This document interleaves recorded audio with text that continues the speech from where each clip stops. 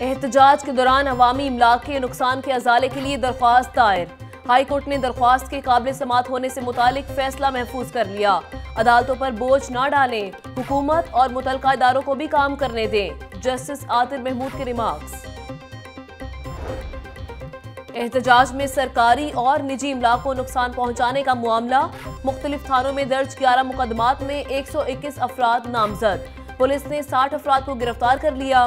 انسداد دہشت گردی کی عدالت نے تحریک لبیک پاکستان کے آٹھ کارکنوں کو چودہ روزہ جسمانی ریمانڈ پر پولیس کے حوالے کر دیا۔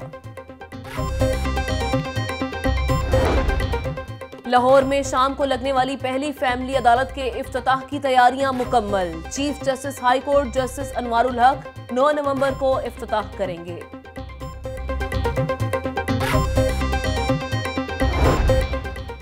سول سروس ریفارمز میں پی ایم ایس کی عدم نمائندگی۔ پی ایم ایس افسران کا علامتی احتجاج ساتویں روز میں داخل۔ مطالبات کی منظوری تک احتجاج جاری رہے گا۔ افسران سیاہ پٹیاں باندھ کر امور نپٹانے لگے۔ پولیس کا جال سازوں کے گرد گھیر آتنک نواب ٹاؤن پولیس کا علی رضا آباد کے علاقے میں جعلی سیمنٹ فیکٹری پر چھاپا مالک سمیت تین افراد گرفتار۔ پولیس کے مطابق فیکٹری میں جعلی سیمنٹ تیار کیا جاتا ہے۔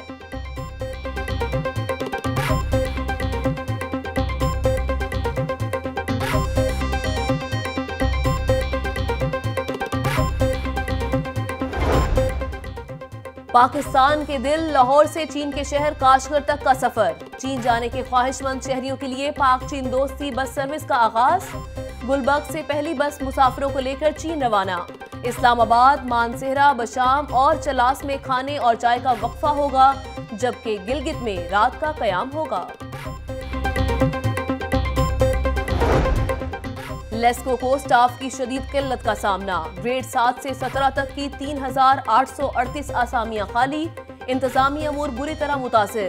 سات کیٹیگریز میں دو ہزار تین سو سولہ افسران اور ملازمین کی اشد ضرورت۔ لیسکو نے فوری بھرتیوں کے لیے جی ایم پیپکو کو خط لکھ دیا۔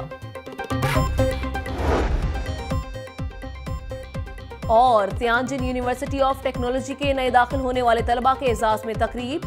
صوبائی وزیر میاں اسلم اقبال کی بطور مہمان خصوصی شرکت۔ فیکلٹی ممبران اور طلبہ کی بڑی تعداد میں شرکت۔ استاد کے احترام کے بغیر کوئی معاشرہ ترقی نہیں کر سکتا۔ میاں اسلم اقبال۔